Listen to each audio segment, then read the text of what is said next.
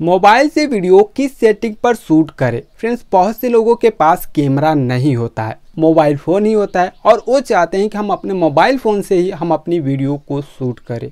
बहुत से ऐसे लोग हैं जो अपने मोबाइल फ़ोन का यूज़ करके अपनी वीडियो को शूट कर रहे हैं। और बहुत से लोग ऐसे हैं जो अपने मोबाइल फ़ोन से अपनी वीडियो को शूट करने के लिए क्या करते हैं? अपने मोबाइल को उठाते हैं मोबाइल फ़ोन में कैमरा ऐप को ओपन करते हैं और वीडियो रिकॉर्डिंग वाले ऑप्शन पे जाकर रिकॉर्डिंग स्टार्ट कर देते हैं रिकॉर्ड कर लेते हैं। रिकॉर्ड करने के बाद से जब वीडियो देखते हैं तो भाई परेशान हो जाते हैं। क्यों परेशान हो जाते हैं? क्योंकि उनको वो क्वालिटी नहीं मिल पाती है, जो वो चाहते हैं। क्यों नहीं मिल पाती? वहीं आज हम आपको इस वीडियो में बताने वाला हूँ कि आपको अगर जो क्वालिटी आप चाहते हैं अपने मोबाइल फ़ोन से, वो आपको कैसे मिलेगी? तो भाई, इस वीडियो को देखना, ध्यान से देखना। इस वीडियो में हम आपको बताने वाला हूँ कि कौन सी सेटिंग पे करके आपको अपनी वीडियो को शूट करना है, ताकि आपको वो क्वालिटी मिले जो आप चाहते हैं।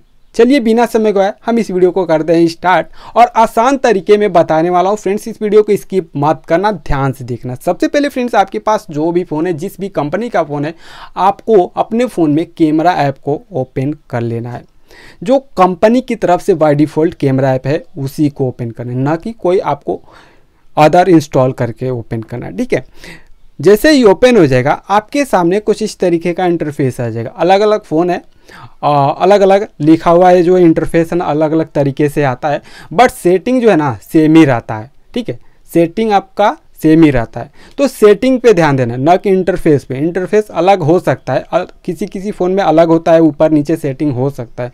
लेकिन सेटिंग आपको जो मैं बताने वाला हूँ, वो सभी फ़ोन में मिल जाएगा। चाहे ऊपर मिले, चाहे नीचे मिले, आपको देख लेना है कि आपकी फ़ोन में कहाँ पे कौन सी सेटिंग मिल रही है, वहाँ पे जाना और वो चीज़ आपको करना है, जो मैं इस वीडियो में बताने वाला हूँ। तो सबसे पहले आपको करना क्या अगर आप एक क्रिएटर हो ना तो इस वीडियो को ध्यान से देखना। एक क्रिएटर के लिए बहुत इंपॉर्टेंट है। अगर आप क्रिएटर नहीं हो वैसे एंटरटेन करने के लिए वीडियो शूट करते हो तो भाई आप बाई डिफ़ॉल्ट सेटिंग पे शूट कर सकते हो, कोई दिक्कत नहीं है। लेकिन क्रिएटर के लिए वीडियो खास तौर पर बना रहा हूँ। सबसे पहले कैमरा ऐप ओपन कर लेना है। अब आपको आ जाना है वीडियो पे। वीडियो पे आने के बाद से आपके सामने कुछ इस तरीके का इंटरफेस आ जाएगा अभी मैंने बैक कैमरा ओपन कर रखा है, इसलिए आप लोगों को कुछ नहीं दिख रहा है। देखिए बैक कैमरा ओपन किया हूँ तो कुछ नहीं दिख रहा है। और यहाँ पे मैं आपको समझा सकूँ, इसीलिए मैं बैक कैमरा किया हूँ। यहाँ पे देख सकते हैं, आपके सामने जैसे ही वीडियो वाला ऑप्शन पे आएँगे तो आपके सामने कुछ इस तरीके का इंटरफेस आ जाएगा। अब यहाँ पे ऊपर आप देखेंगे तो थ्री लाइन दिखेगा, यानी सेटिंग वाला ऑप्शन मिलेगा यहाँ पे। थ्री लाइन पे क्लिक करेंगे तो सेटिंग हमारा ओपन हो जाएगा। यानी आपको अपने फ़ोन में कैमरा वाला जो वीडियो रिकॉर्डिंग है उस पर क्लिक करना, उसके बाद से सेटिंग पे क्लिक कर देना। अब जैसे ही सेटिंग पे क्लिक करेंगे, अब जो भी आपका बाय डिफ़ॉल्ट अगर कुछ सेटिंग किए होंगे तो वो सेटिंग दिखेगा। नहीं किए होंगे तो कंपनी की तरफ़ से बाय डिफ़ॉल्ट जो सेटिंग रहेगा वो आपको यहाँ पे दिखेगा। जैसे कि मेरे में देख सकते हैं, यहाँ पे कंपनी की तरफ़ से बाय डिफ़ॉल्ट यहाँ पे सेटिंग जो है, वही है। मैंने कुछ इसमें सेटिंग नहीं किया है। अब जो करने वाला हूँ, वो अब आपको ध्यान से यहाँ पे देखना है। सबसे पहले देखिए, भाई बहुत से लोग कहते हैं कि भाई हमारी वीडियो की लेंथ जो है ना बड़ी हो जाती है। देखो भाई, अगर आप चाहते हो कि आपकी वीडियो की क्वालिटी अच्छी हो तो वीडियो की साइज़ तो थोड़ी बड़ी होगी भाई। ये बात ध्यान रखना है। ठीक है, आपको ये ध्यान रखना है। अगर आप चाहते हो कि आपकी वीडियो की साइज़ छोटी हो और क्वालिटी अच्छी हो तो भाई यहाँ पे थोड़ा सा आपको मैनेज तो करना पड़ेगा। साइज़ थोड़ी सी बढ़ानी पड़ेगी, ठीक है? बात समझना। अगर क्वालिटी चाहते हो तो अगर क्वालिटी नहीं चाहते हो, इसे नॉर्मल एंटरटेन करना चाहते हो तो आप किसी भी क्वालिटी पे जा सकते हो, कोई दिक्कत नहीं है। लेकिन मैं तो यही रिकमेंड करूँगा कि क्वालिटी चाहिए तो थोड़ा आगे बढ़ना पड़ेगा। आगे बढ़ने के लिए ज़्यादा कुछ नहीं करना पड़ेगा, ये नहीं कि आपको बहुत आगे बढ़ना पड़ेगा। आपको नॉर्मल ही जाना पड़ेगा। सारा कुछ एकदम फिट हो जाएगा, मस्त हो जाएगा। ठीक है? सबसे पहले यहाँ पे जो सेटिंग है ना सेटिंग पे आ जाना है। उसके बाद से यहाँ पे आपको रेजुलेशन दिखेगा। ये रेजुलेशन होता क्या है फ्रेंड्स रेजुलेशन जो है ना मतलब आपकी जो, नहीं हम बोलते हैं, भाई आपकी वीडियो कौन सी है? एक कौन से फॉर्मेट में है? कौन सी क्वालिटी में तो हम बोलते हैं एचडी में है फोर में है, या एम पी फोर में है। ऐसे हम बोलते हैं ना तो वही होता है। तो वो हम यहाँ पे अगर टेन एट्टी पी जो है ना टेन एट्टी पी और सिक्सटी एफ़ पी एस करते तो उसको हम फुल एच डी बोलते हैं। फुल एच डी नहीं बोलते हैं कि आपके फ़ोन में एक बैक कैमरा में video recording full H D है या एच डी है या हाँ, एक फोर है ऐसे पूछते हैं ना किसी से तो वही चीज़ है। तो यहाँ पे हम देखो हमको ये बाय डिफ़ॉल्ट टेन पी और thirty F P S F P S जो होता है ना हमारी वीडियो एफ़ पी एस का मतलब ये होता है कि हम जो मान लीजिए एक सेकंड में हमने कोई काम साठ बार किया और एक ही सेकंड में कोई काम हमने तीस बार किया। सो so, अब जो हमने साठ बार किया और जो तीस बार किया तो उसमें देखिए अब एक ही सेकंड में हमने साठ बार किया एक ही सेकंड में हमने तीस बार किया। तो अंतर क्या होगा कि एक सेकंड में जो साठ बार कर रहे हैं तो वो और फास्ट होगा। ठीक है? फास्ट होगा। और जो तीस तीस बार मैंने किया एक सेकंड में तो वो स्लो में होगा तभी तो एक सेकंड पूरा मैनेज होगा टाइम ना। तो वही चीज़ यहाँ पे एफ़ का होता है। यानी अगर आपके फ़ोन में सिक्सटी एफ़ रहेगा तो वो उतना ही फ़ोटो क्लिक करेगा, यानी वीडियो को अच्छे से दिखाएगा। उसमें जर्क नहीं दिखेगा आपको। जैसे वीडियो को आप घुमाएँगे ना तो क्या होता है, अगर थर्टी पे एफ़ पे करके शूट करेंगे तो आपकी वीडियो अगर मूव करेंगे अपने फ़ोन को तो उसमें ना ब्लरी टाइप का नज़र आएगा। जैसे रुक रुक के चलता हुआ नज़र आएगा। और वहीं अगर आप इसको 1080p और 60 fps पे कर लेते हैं तो आप जब आप वीडियो शूट करेंगे तो आपकी वीडियो एकदम सी स्मूथली दिखेगा। यानी आपको ल, रुक रुक रुक के जो नज़र आता आ रहा था 30 fps पे वो नज़र अब नहीं आएगा। क्योंकि इसमें अब आपको एक ही सेकंड में 60 फ़ोटो यानी 60 फ़ोटो आपको देखने को मिल जाए और एक ही सेकंड में आपको यहाँ पे मिल रहा था तीस फ़ोटो। तो इसीलिए इसमें जर्क आपको यानी थोड़ा थोड़ा आपको ए, रुक रुक के देखने वाला सीन दिख रहा था ठीक है? और जब 60 ए पे करेंगे टेन एट्टी पी सिक्सटी तो आपकी वीडियो स्मूथनेस दिखेगी। अब ये देखिए फ्रेंड्स ये आप ब्लॉगिंग करने के लिए भी यूज़ कर सकते हो और खासकर ये ब्लॉगिंग के लिए बहुत ही इंपॉर्टेंट ये सेटिंग होता है। अगर नॉर्मल आप वीडियो शूट करते हो कहीं बैठ के तो आप ten eighty P sixty thirty A P S पे करके शूट कर सकते हो, ठीक है? सो so, यहाँ पे मैं रिकमेंड करूँगा कि आप अगर बैठ के भी शूट करो क्योंकि देखिए बहुत सारे लोग जो हैं बैठ के भी वीडियो शूट करते हैं तो अपने हाथ को इधर उधर चिड़ियों की तरह मतलब डुलाते रहते हैं भाई हिलाते डुलाते रहते हैं। तो आपको ये देख लें अगर आप अपना हैंड को मूव करते हैं आप इधर उधर मूव भी करते हैं चलते रहते हैं थोड़ा बहुत तो आप वहाँ पे यही चीज़ यूज़ करें टेन एटी पी सिक्सटी पे ताकि आपका वीडियो जो है ना अगर आप थोड़ा इधर उधर मूव भी करते हैं आपका हैंड चलता रहता है तो आपका वीडियो स्मूथनेस दिखे। मतलब जर्क नज़र ना आए। उसमें सैकी जो होता है ना रुक रुक के, वो उसमें नज़र ना आए। तो आप ten eighty P, sixty A P S ये सेटिंग कर लेना। ठीक है? अब उसके बाद से बात यहाँ पे फोर के। फोर के भाई देखो, फोर के अगर मान लो आपको दस सेकेंड, पंद्रह सेकेंड, तीस सेकेंड, एक मिनट की कोई सिनेमैटिक शॉट लेना है। ठीक है? सिनेमैटिक वीडियो क्रिएटर हो तो आप फोर के पे जा सकते हो। 4K पे आपको 30 एफ़ अगर आपके पास फ़ोन है तो बहुत से फ़ोन में 60 एफ़ देखने को मिले, जो मतलब हाई रेंज का जो फ़ोन है, उसमें देखने को मिलता है।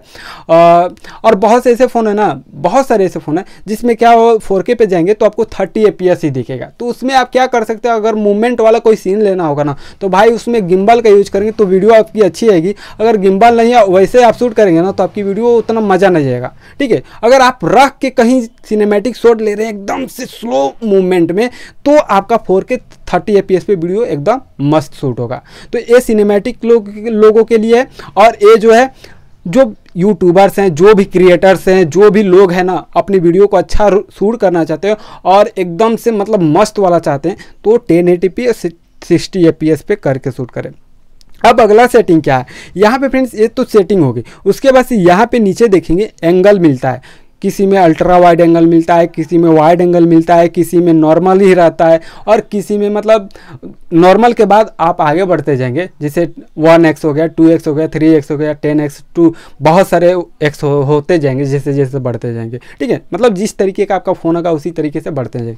तो अगर आपके फ़ोन में यहाँ पे ब्लॉगिंग करते हैं तो ब्लॉगिंग करते हैं तो आपको नॉर्मल पे अपनी वीडियो को नहीं शूट करना जैसे कि हमारे फ़ोन में वाइड एंगल है ज़ीरो है। बहुत से फ़ोन में 0.5 आता है।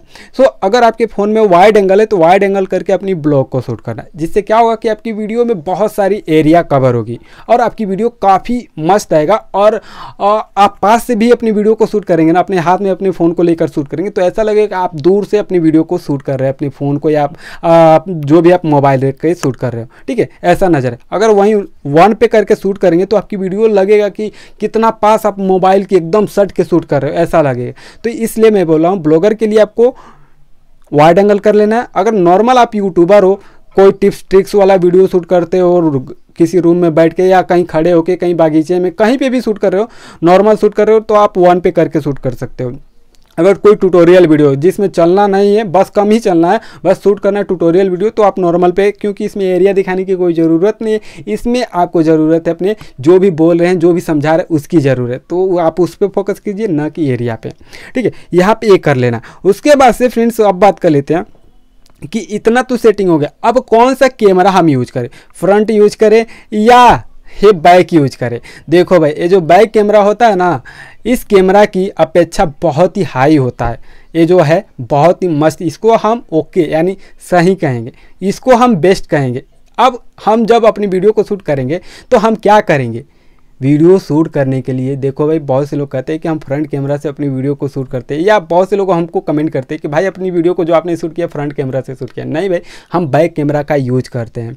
आप भी अपनी वीडियो को बैक कैमरा का ही यूज़ करें। आपकी वीडियो बहुत ही बेटर शूट होगा, बहुत ही बेटर क्वालिटी आपको मिलेगा, ठीक है? सो बैक कैमरा करना सिक्सटी ए और यहाँ पर वाइड एंगल इतना काम करने के बाद से वीडियो को शूट करना है आराम से। ठीक है, वीडियो आपका शूट हो जाएगा। अब वीडियो को शूट करने के बाद से यहाँ पे एक चीज़ और हम आपको बता देता हूँ, जो काफ़ी मस्त है। बहुत से लोग गलती करते हैं। देखो भाई, अगर आप कहीं ऐसे जगह पे अपनी वीडियो को शूट कर रहे हैं, जहाँ पे आपको जैसे लाइट कहीं है, अगर आप थोड़ा मूव करते हो तो क्या होता है कि आपकी फोकस जो होती है ना, वो धीरे धीरे कभी एकदम से फोकस, ब्राइटनेस बढ़ जाती है, कभी कम हो जाती है, कभी ज़्यादा हो जाता है। तो इस सिचुएसन में फ्रेंड्स, आपको देखें, जहाँ पर अगर कहीं खड़े होकर अपनी वीडियो को शूट करें और आप इधर उधर मूव करें और आपकी ब्राइटनेस कम और ज़्यादा होती है, ठीक है? तो उस सिचुएशन में आपको करना क्या? अपनी वीडियो पे, जहाँ पे भी आपको लोकेशन अपनी फ़ोटो को देख लेना है और इस तरीके से अपनी वीडियो में उस उस सिचुएशन पे, यानी जहाँ पे भी शूट कर रहे हो, वहाँ पे जाके अपनी टच करना अपने फ़ोन में और देख लेना अच्छा सीन जब आपकी वीडियो में क्लियर से सब दिखे तो वहाँ पे उंगली प्रेस करके रखना अपने कैमरे में और उसके बाद से लॉक कर देना है एक्सपोजर को। अब यहाँ पे क्या होगा फ्रेंड्स कि आपकी लाइटनेस जितना पे लॉक रहेगा, उतना ही पे आप मूव भी करेंगे ना तो आपकी लाइट कम और ज़्यादा नहीं होगी, आपका वीडियो एकदम प्रोफेशनल प्रो लेवल की शूट होगी। क्योंकि यहाँ पर बहुत से लोग ये गलती कर देते हैं और फिर कहते हैं, भाई, हमारी वीडियो ऐसी अगर आप ब्लॉगर हो ना तो आपको ये लॉक वाला सिस्टम नहीं यूज़ करना है। नहीं तो आपकी वीडियो क्या होगी भाई? कि अगर आप कहीं एक लोकेशन से किसी दूसरे लोकेशन पे जाओगे तो जब आपकी वीडियो शूट होगी तो वहाँ पे क्या होगी? अगर मान ली कहीं आपने किसी ऐसे लोकेशन पे थे जहाँ पे अंधेरा था, और वहाँ पे आपने लॉक करके अपनी वीडियो शूट कर ली, और आपने अचानक से लॉक को हटाया नहीं, आपने चले गए ब्राइट जहाँ पे उजाला है, उस लोकेशन पे तो क्या होगा कि आपकी वीडियो में इतना ब्राइट हो जाएगा कि आपका फेस अपना, आपका सब कुछ ब्राइट हो जाएगा, आपका कुछ दिखेगा नहीं वीडियो में।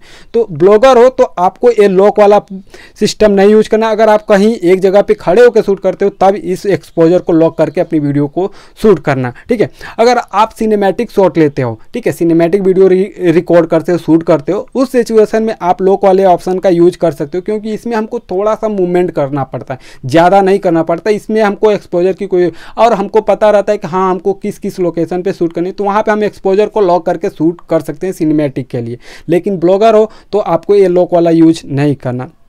अब इतना करने के बाद से आपकी वीडियो शूट हो जाएगी। अब फ्रेंड बात कर लेते हैं, वीडियो शूट होने के बाद से, एडिट करने के बाद से कौन सी रे सेटिंग पे हम अपनी वीडियो को एक्सपोर्ट करें, यानी सेव करें अपनी गैलरी में। किसी भी वीडियो एडिटर का यूज़ कर सकते हो, जब से एडिट हो जाए सेव करते हो तो आपको क्या करना है, जो आपने सेटिंग रखा था, आपने रिकॉर्डिंग करते समय, वही रिकॉर्डिंग वाला जो सेटिंग है ना सेम अप्लाई आपको एक्सपोर्ट करते समय आपको मिलता है, वहाँ पर मैनुअली आपको सेट कर लेना और फिर अपने गैलरी में सेव करना है। अगर सेम नहीं करेंगे लो कर देंगे तो आपकी वीडियो क्वालिटी फिर से बेकार हो जाएगी। जाएगी। और आपको हाई भी नहीं करना है, क्योंकि अगर आपका एक रुपये हम आपको दिए होंगे और उस एक रुपये को आप कहीं मतलब चारों जगह घूमे और फिर आपने मतलब मान लीजिए आपको एक लकड़ी एक इंच का दिया, ठीक है? एक इंच का लकड़ी दिया। और फिर उसको आप क्या, मैं कहूँगा कि इस लकड़ी को आप इतना बड़ा कर दो दो इंच कर दो तो कर दोगे, नहीं ना हो पाएगा। तो आप दो इंच मत कीजिएगा, अगर दो इंच करेंगे तो उसको पूरा बर्बाद करना मतलब बर्बाद ही हो जाएगा, समझो, आपका बेकार हो जाएगा। तो वही चीज़ है, आपका जिस रेजुलेशन में शूट हुआ है, उसी रेजुलेशन में आपको एडिट करके एक्सपोर्ट भी करना है। आपकी वीडियो क्वालिटी एकदम पावरफुल होगी हाई क्वालिटी एकदम प्रो लेवल की होगी। उसके बाद से कमेंट करके बताना आपकी वीडियो मतलब जो मैंने बताया, इसको अप्लाई करके शूट करके बताना कि आपकी वीडियो किस क्वालिटी में शूट हुई अच्छा हुई है कि नहीं हुई। भाई, वीडियो पसंद आई हो तो लाइक करना शेयर करना प्यारा सा कमेंट करना चैनल पर नए हो तो चैनल को सब्सक्राइब करके बेल आइकन को ऑल प्रेस कर लेना। और ऐसे नॉलेज जानकारी टिप्स ट्रिक्स के बारे में जानना चाहते हो तो भाई कमेंट करके बताना, आगे वीडियो बना के बताता रहूँगा। ठीक है, फिर मिलते हैं अगले वीडियो में, तब तक के लिए बाय धन्यवाद, जय हिंद, वंदे मातरम।